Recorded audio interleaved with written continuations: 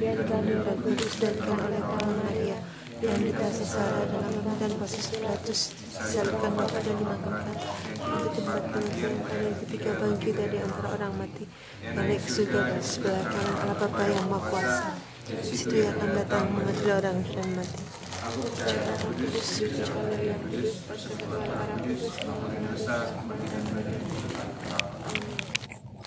yang kemuliaan para Bapa dan Roh Kudus dahulu sekarang selalu sepanjang segala abad. Bapa kami yang di surga,